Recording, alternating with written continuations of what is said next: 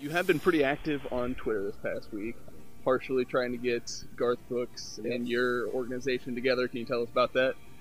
Yeah, and that's a success. I mean, his his group reached out to us and and and uh, said, "All right, we're in. What do you want to do?" So, you know, we're going to have something with the Teammates for Kids, Garth Brooks Foundation, and the, the uh, Big League Impact, our foundation, going to St. Louis. We're going to pick a pick a group and see if we can't make a difference for some kids in St. Louis. Since we can't get together in person now, how about you and I team up with your foundation, Teammates for Kids, and my foundation, Big League Impact, and we do something great together in 100%. in the St. Louis area to help kids there.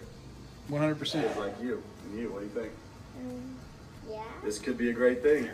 What do you think? I'm in. So that's official now. It's Garth Brooks is locked in, or Pirate, Pirates outfielder Garth Brooks Right. slash part-time country singer, right? That that is that is what we've been told. So um, that's a pretty big get. I mean, he's he's probably tied for first on greatest all-time country music singers and writers, songwriters, and performers. So uh, that's a.